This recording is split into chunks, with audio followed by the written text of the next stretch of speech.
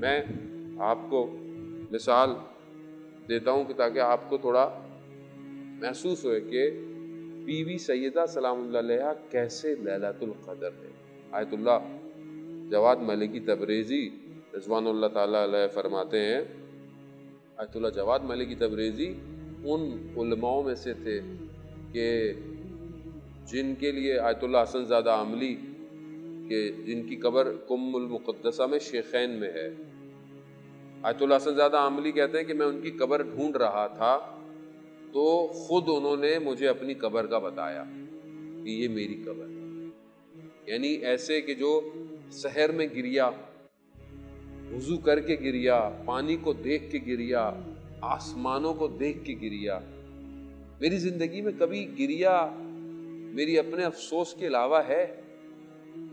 कभी मैंने ज़िंदगी में ये सोच के गिरिया कि परवरदिगार, तूने तो इतना रहम किया, तूने इतना करम किया, मैंने क्या किया वो फरमाते हैं कि, हुर सलाम, की ज़िंदगी कैसी बदली? कहा कि जब इमाम हुसैन सलाम के घोड़े को रोका, सवारी को रोका तो क्या कहा? इमाम ने फरमा तुम्हारी माँ तुम्हारे अजा में बैठे, लेकिन हज़रत हुर ने क्या कहा? कहा, मैं आपकी वालदा के बारे में ये नहीं कह सकता। बस ये एक जुमला कि बीबी की निगाह हज़रत हुर पे जो पड़ी, हज़रत हुर शब आशूरा जहन्नुम और जन्नत के दरमियान में एक निगाह ने हुर को वहाँ से उठाया और क्या मकाम दिया? हुर सलाम हो गए। आयतुल्ला जवाद मलिक की तबरीजी कहते हैं, ये है लैलतुल कद्र। एक रात हज़ारों महीनों से बेहतर है। कहाँ पहुँच गए? आज आप हज़रत हुर के रोज़े पे जाएँ।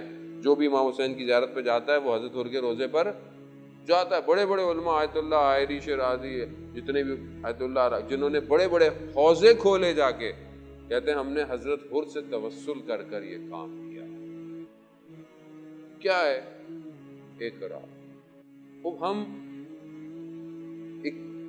अठारह, उन्नीस की रात, इक्कीस की रात, तेईस की रातें जो ताक कराते हैं, हम उसका क्यों इंतज़ार करें?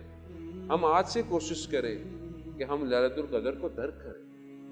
हम आज रात से अपने आप को ऐसा बनाएँ कि जब हम ललतुल कदर तक पहुँचे तो हमें ललतुल कदर महसूस हो।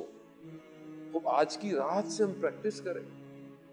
हम क्यों कोशिश करते हैं कि जब सिर्फ़ रोज़ा का टाइम होगा, ओहो हो, रोज़े में हूँ, झूठ नहीं बोल सकता, आँखें बंद कर लूँगा, ये कर लूँगा। सिर्फ़ रोजा एक का टाइम थोड़ी है। असल में खुदा हमें इस दस बारह घंटे में प्रैक्टिस दे रहा है। अगर इस तरह तुमने अपने आप को बारह घंटे, दस घंटे कंट्रोल कर लिया तो तुम अपने आप को चौबीस घंटे भी कंट्रोल कर सकते हो। मगर जो खुदा रोज़े के दिन में है, क्या वो खुदा रात को सो जाता है? क्या वो खुदा माह रमज़ान के बाद कहीं छुट्टी में चला जाता है? तो फिर मैं महसूस क्यों नहीं करता? आयतुल्ला उसमें बहजर रिजवानुल्लाह ताला हैं कि अगर तुम्हें खुदा के वजूद का एहसास हो जाए तो तुम कभी भी गुनाह नहीं मसला ये है कि मैं रिलैक्स हो जाता हूँ, ओह, अभी तो रोजा खत्म हो गए। चलो, जो भी कर लो। क्यों कर लू?